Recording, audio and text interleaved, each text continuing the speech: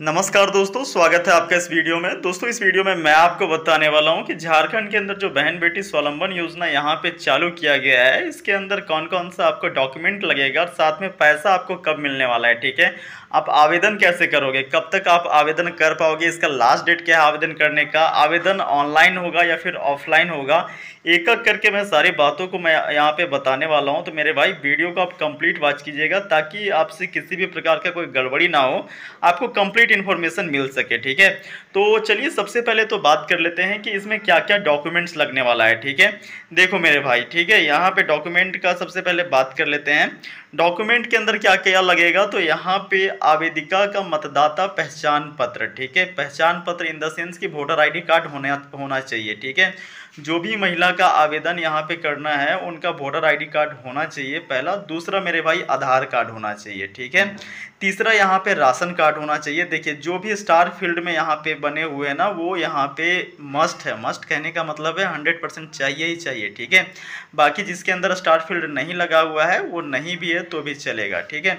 तो भाई सबसे पहला तो आवेदिका, यानी कि महिला का यहाँ पे वोटर आईडी कार्ड होना चाहिए। दूसरा आधार कार्ड होना चाहिए। तीसरा परिवार का राशन कार्ड होना चाहिए। परिवार के राशन कार्ड के अंदर जिस भी महिला का आवेदन करना है, उनका भी नाम शामिल होना चाहिए, ठीक है? अब इतना हो जाने के बाद भाई रंगीन पासपोर्ट साइज़ का फ़ोटो तो मस्ट होगा ही होना ही चाहिए, ठीक है? उसके बाद देखिए, एक इसके अलावा एक और रिक्वायरमेंट यहाँ पे होता है, जो कि है भाई आधार लिंक्ड बैंक खाता। अब आधार लिंक्ड बैंक खाता कहने का मतलब है कि आपका एक बैंक खाता होना चाहिए, महिला के नाम से एक बैंक खाता होना चाहिए। ठीक है? और वो बैंक खाता जो है, वो आधार सीडेड होना चाहिए। आधार सीडेड और आधार लिंक में अंतर होता है। आधार लिंक आप किसी भी बैंक में करवा सकते हो। लेकिन आधार सीडिंग जो है, वो केवल एक ही खाता के अंदर होता है। जैसे मान लीजिए कि जिस भी महिला का यहाँ पे आवेदन किया जा रहा है, ठीक है? जो भी महिला को यहाँ पे बहन बेटी स्वावलंबन योजना के तहत पैसा मिलना है मिलने वाला है, उसका मान लेते हैं तीन खाता है। एक बैंक ऑफ़ इंडिया में है, एक स्टेट बैंक ऑफ़ इंडिया में है और एक आपका बैंक ऑफ़ बड़ौदा में है, ठीक है? तो देखो, तीनों बैंक के अंदर इनका जो है वो आधार लिंक हो सकता है, लेकिन एक ही बैंक के अंदर इनका आधार सीडिंग हो सकता है। आधार सीडिंग जिस जिस भी बैंक के अंदर होगा, उसी बैंक में आपका खाता में जो है वो पैसा ट्रांसफ़र किया जाएगा। चाहे फिर वो बात रहे मुख्यमंत्री बेटी मुख्यमंत्री स्वावलंबन योजना का या फिर मेरे भाई, किसी भी प्रकार का यहाँ पे छात्रवृत्ति का पैसा हो गया हो या पीएम किसान का पैसा हो गया हो, ठीक है, या गैस सब्सिडी का जो पैसा आता हो, कहने का मतलब सरकारी पैसा, ठीक है? सरकारी पैसा उसी में ट्रांसफ़र होता है जिसमें आधार सीडेड होता है, ठीक है? तो ये करवाना भी काफ़ी आसान होता है बैंक में जा करके बोलिएगा कि हमारा आधार सीडिंग करवाना है तो वो लोग कर देंगे, ठीक है? तो ये चार काम तो सबसे पहले आप कर लेना मेरे भाई, अगर आप हो तो। यहाँ पे देखो, सबसे पहले वोटर आईडी कार्ड बनवा देना और उसके बाद आधार कार्ड होना ही चाहिए, फिर राशन कार्ड होना चाहिए कलर पासपोर्ट साइज़ का फ़ोटो होना चाहिए और साथ में यहाँ पे बैंक पासबुक होना चाहिए, ठीक है? इतना हो जाने के बाद अब मैं आपको बताना चाहता हूँ कि आवेदन कैसे होगा ऑनलाइन होगा या फिर ऑफलाइन होगा, ठीक है? तो यहाँ पे आवेदन की रिगार्डिंग यहाँ पे आप देख सकते हो, संकल्प पत्र जारी किया गया है, जो कि झारखंड के अंदर महिला और बाल विकास मंत्रालय है, जिनके अभी जो प्रमुख हैं वो बेबी देवी हैं, ठीक है? बेबी देवी के द्वारा जो महिला और बाल विकास मंत्री हैं, इनके द्वारा ये संकल्प पत्र जारी किया गया है, ठीक है? अब इनके द्वारा ये संकल्प पत्र में बताया गया है कि ये ऑनलाइन होगा या फिर ऑफलाइन इसका आवेदन होगा तो ये भी मैं आपको बता देता हूँ, ठीक है? अब यहाँ पर आप गौर करोगे मेरे भाई तो मैं यहाँ पर आपको दिखाना चाहूँगा, इसका आवेदन के बारे में देखो मेरे भाई, यहाँ पे जानकारी दिया गया है, ठीक है? यहाँ पे जानकारी में कहा गया है कि इसका आवेदन जो है फ़िलहाल ऑफलाइन किया जाएगा, ठीक है? फ़िलहाल इसका आवेदन का ऑफलाइन किया जाएगा, ठीक है? और इसका आवेदन का भी कोई तिथि निर्धारित नहीं किया गया है कि भाई आप यहाँ पे जुलाई तक ही कर सकते हो, अगस्त तक ही कर सकते हो, ये भी अनलिमिटेड चलने वाला है, ठीक है? यहाँ पे देखिए, बाद में ये भी बताया गया है कि भविष्य में इसका पोर्टल को ऑनलाइन विकसित किया जाएगा, ठीक है? यहाँ पे देखिए, भविष्य में वेब पोर्टल विकसित होने की स्थिति में आवेदनों की प्राप्ति स्वीकृति ऑनलाइन ही की जाएगी, ठीक है? लेकिन ये भविष्य की बात है, फ़िलहाल ये भविष्य के गर्भ में भी है, लेकिन मेरे भाई, वर्तमान में ये बताया जा रहा है कि ये ऑफलाइन यहाँ पे आवेदन किया जाएगा और दो स्टेजेस में इसका वेरीफाई होता है, ठीक है? अगर आप ग्रामीण क्षेत्र में हैं, ग्रामीण क्षेत्र की कोई महिला ये आवेदन कर रही हैं तो भाई जो अंचल अधिकारी होते हैं, अंचल अधिकारी और दो अधिकारी, देखिए, प्रखंड विकास पदाधिकारी और एक अंचल अधिकारी, ठीक है? तो जो प्रखंड विकास पदाधिकारी हैं, ब्लॉक डेवलपमेंट ऑफिसर, ठीक है? प्रखंड विकास पदाधिकारी यानी ब्लॉक डेवलपमेंट ऑफिसर भाई जो गाँव के अंदर जो महिलाएँ होंगी, उनका जो आवेदन किया जाएगा, उनको कौन वेरीफाई करेगा? तो प्रखंड विकास पदाधिकारी वीडियो वेरीफाई करेंगे, ठीक है? जो वीडियो होते हैं, वो वेरीफाई करेंगे। और दूसरी बात, जो शहर के अंदर, जो शहर के अंदर महिलाएँ होती हैं, वो अगर आवेदन करती हैं तो उनका वेरीफिकेशन कौन करता है? तो उनका वेरीफिकेशन अंचल अधिकारी करता है, यानी सीईओ करता है सर्कल ऑफिसर करता है, ठीक है?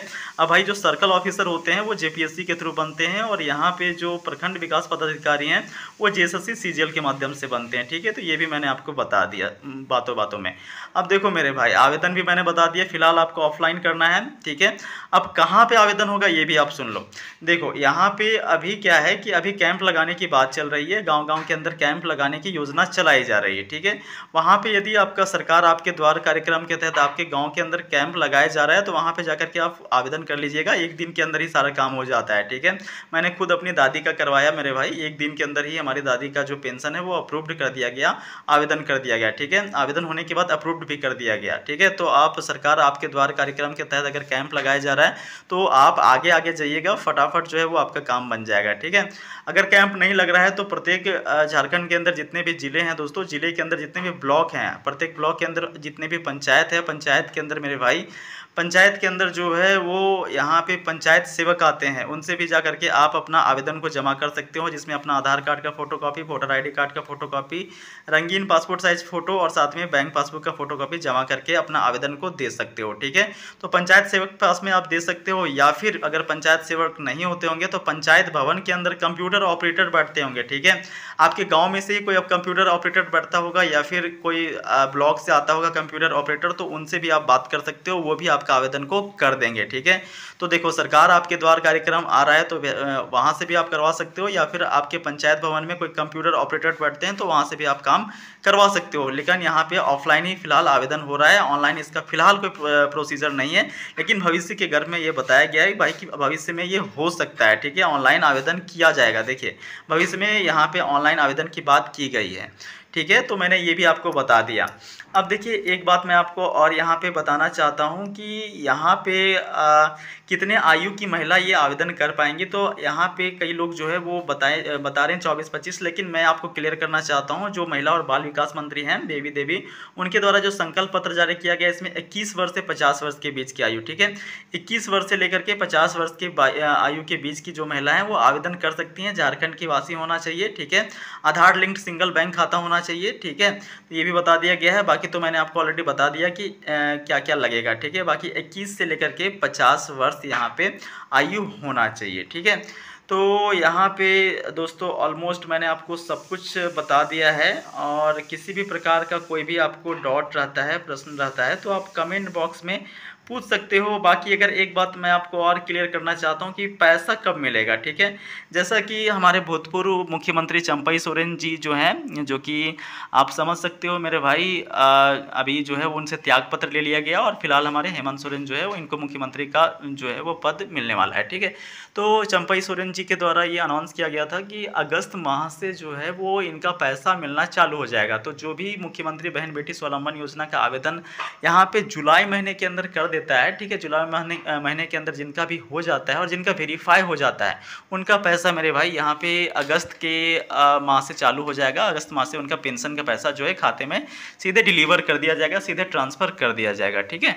तो देखो ऑलमोस्ट मैंने आपको सब कुछ जानकारी दे दिया है, किसी भी प्रकार का कोई भी प्रश्न होता है क्वेरीज होता है डॉट होता है तो मेरे भाई कमेंट बॉक्स में पूछ सकते हो आप। बाकी मिलते हैं अगले वीडियो में वीडियो पूरा देखने के लिए धन्यवाद।